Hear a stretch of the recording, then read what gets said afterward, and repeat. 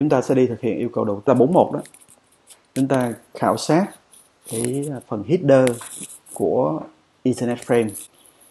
Thì tôi nhắc lại một chút về header Ethernet frame thì các em biết là à, trong cái à, chương 2 chúng ta đã nói về header Ethernet frame là đây. Là phần này. Nha.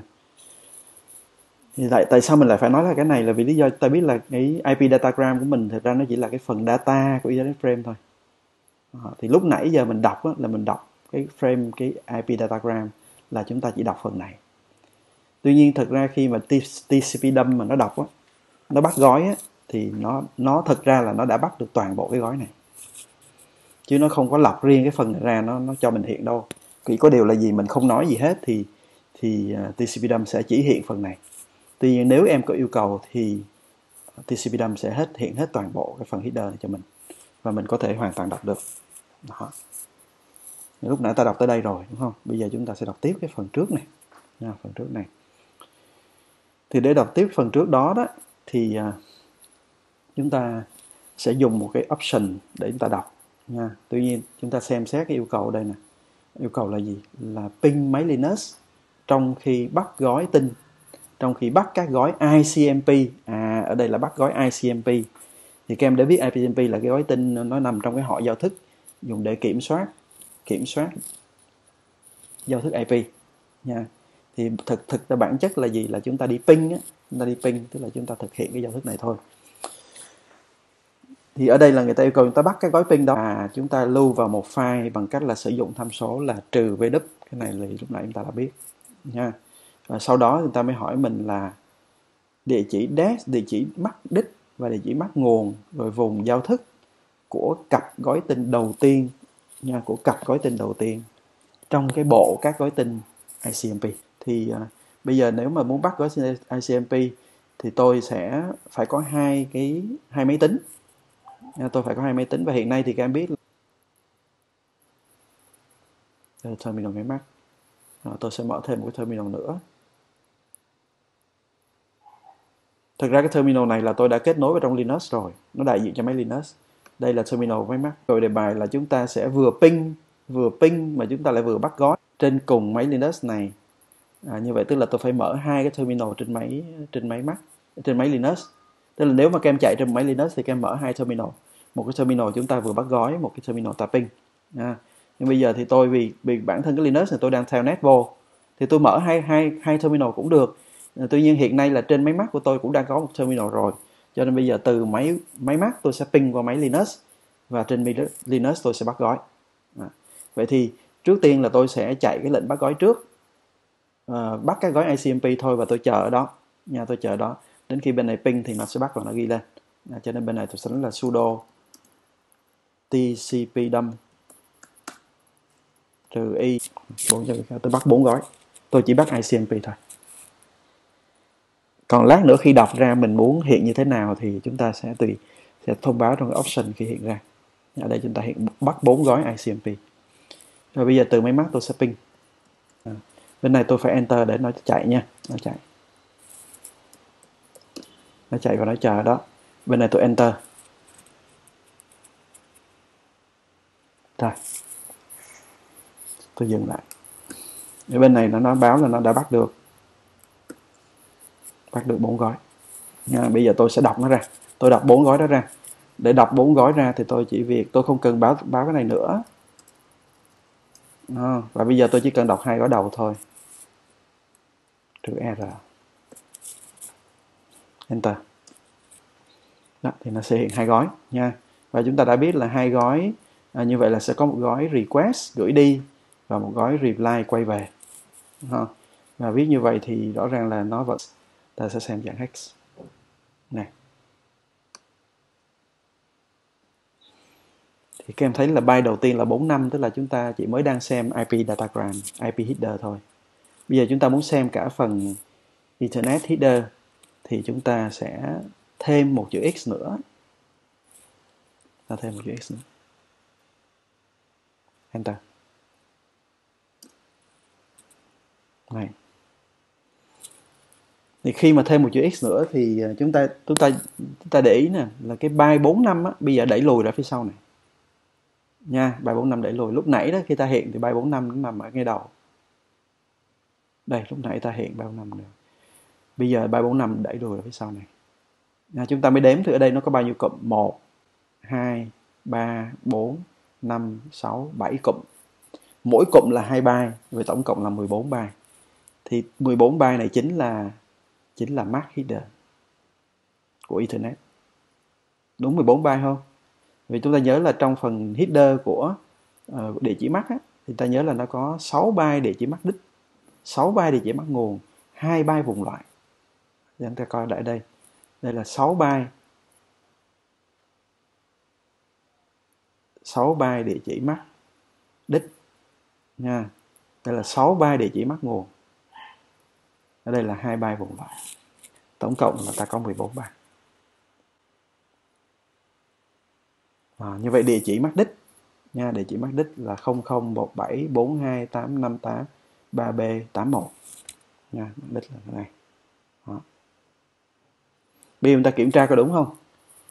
Gói tin này là gói tin đi từ MacBook Air cho đến đến máy 1610 nha như vậy đây chính là địa chỉ của máy địa chỉ của máy Linux phải không? Còn đây chính là địa chỉ của của MacBook Air của tôi. Nguồn mà, máy nguồn, địa chỉ MacBook Air của tôi. Để tôi kiểm tra có đúng nha. Tôi mở cái MacBook Air lên. Tôi kiểm tra có đúng không? Tôi đánh if toàn fix 3436 3B 8891E2 3436 3B 8891E2 đó, đây chính là địa chỉ của Mac phần 0800 chính là vùng loại. Và nếu các em tra ra thì các em thấy 0800 này chính là mã của giao thức IP tức là cái giao thức tầng trên của Ethernet mình đang sử dụng là IP 0800 yeah. nhưng mà nếu chúng ta dùng ta ta coi quan sát với giao thức khác thì nó sẽ khác. Nó sẽ khác. Nha rồi như vậy là chúng ta thực hiện được yêu cầu A. Nha, yêu cầu A và yêu cầu B. Chúng ta thực hiện tiếp. À, 4.2 chúng ta khảo sát là IP header. Và bây giờ là mình đọc từng vùng một. Cái gói tin mà mình bắt hiện nay là gói tin ICMP cho nên nó chỉ phục vụ được cho nó chỉ phục vụ được cho câu 43 thôi. Nha phục vụ được câu 43 thôi. Là vì lúc đó cái IP datagram của mình cái phần cái phần header của nó đó thì nó lại là của ICMP à, chứ không phải là gói IP bình thường. Ừ, cho nên bây giờ muốn làm cái câu 42 này nè thì chúng ta lại phải bắt một cái gói IP bình thường, chứ không phải là gói ICMP cái gói mình vừa làm ở đây nè, thì nó là gói ICMP và như vậy là chúng ta dùng để phục vụ cho câu 43 nha. Cái này là các em sẽ tự làm. Đó. Bây giờ tôi sẽ tạo ra một bộ các gói IP khác, và tôi sẽ đọc cái gói IP đó theo các cái vùng header, trong header mà người ta yêu cầu ở đây. Thì để tạo ra gói IP thực ra nó rất là đơn giản nha rất đơn giản là vì chúng ta chỉ cần à, thí dụ trên mạng mình, mình trên máy tính mình mình thực hiện một cái truy xuất chẳng hạn một cái truy xuất ra máy tính internet trên trên mạng internet thì chúng ta sẽ có các gói IP đó cho nên là bây giờ chúng ta sẽ bắt lại tôi sẽ bắt lại và tôi sẽ quan sát cái gói tin đó thì nó mới đúng theo yêu cầu của cái câu 42 này. Chạy sudo tcpdump trừ i en0 nha đây là tên của các mạng à, sau đó là tôi bắt tôi bắt 10 gói nhé tôi sẽ bắt thử 10 gói. Tôi bắt IP thôi. IP thôi và tôi write vào tập tin là 10.pcap ừ. bắt gói IP bắt 10 gói. Enter. Tôi chờ ở đó. Ở đây bắt mình bắt một nhập mật khẩu. Thôi có sẵn 10 gói rồi. Quá nhanh. Mặc dù là tôi chưa có truy cập gì cả đã hiện ra 10 gói. Bây giờ tôi xem thử xem là 10 gói này liệu là có, mình có thể đọc được không? Ừ, cũng lẽ cũng cũng có vẻ đây là những cái gói mà tôi có thể dùng được. Nha, vì sao hiện nay các em thấy là đây là gói tin à, từ máy của tôi gửi đến cái máy chủ Zoom US này. tức là hiện nay là tôi, vì tôi đang kết nối Zoom, tôi đang nói chuyện với các em mà. Cho nên là chúng ta thấy là nó bắt 10 gói và các gói này là các gói đang à, đang liên lạc với máy chủ Zoom. Phải không? Thì gọi này thì chúng ta thấy là đang Zoom nè còn ở đây là chúng ta lại có một cái giao kết nối từ từ Amazon đến máy tính này. À như vậy hoàn toàn ta có thể đọc được. Nha tôi đọc được. Như vậy thì tôi sẽ tôi sẽ đọc thử gói đầu tiên thôi. Nha. À, tôi đọc một gói thôi. Tôi đọc một gói. Nha. Và tôi muốn là à, tôi đọc less verbose đồng thời là à, tôi tôi đọc thông tin của IP header. IP header từ trừ x. Enter đó thì đây là gói tin IP mà tôi đọc được. Thứ nhất là câu hỏi là gói tin này có vùng option hay không? Thì giống như lúc nãy tôi đã hỏi các em cái vùng option. Thì vùng option nó chỉ có sau cái dòng thứ năm thôi. 1, 2, 3, 4, 5 tức là sau này nếu có thì có ở đây. Bây giờ làm sao biết có ở đây? Chúng ta nhìn số này. Trong bay đầu tiên nếu là 5 thì có nghĩa là chúng ta chỉ có vùng bắt buộc thôi. Nha chỉ có vùng bắt buộc thì trong trường hợp này chúng ta thấy giá trị là 5 mà như vậy là không có vùng option. Câu số 2 câu hỏi là giá trị của vùng type of service. Type of service là một byte nằm ngay sau internet headerland byte nằm ngay sau internet headerland là là, là không hết. Kế tiếp identifier. Identifier là vùng này. Vùng này là hai byte hai bay nằm sau check nằm sau total length nha. Type of service rồi sau đó là hai byte total length rồi đến hai byte identification. Chúng ta có hai byte total length nha. Như vậy identification chính là 94 CD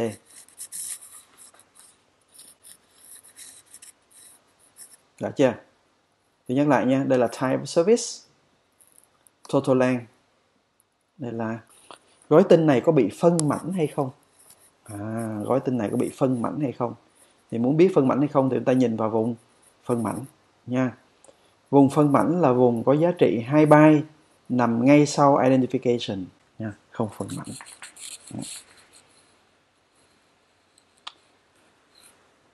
Câu số 5 thời gian sống time to live in hex có nghĩa là chúng ta đọc trực tiếp cái bài ở đó ra nha như vậy là chúng ta sẽ đọc hai bài kế tiếp.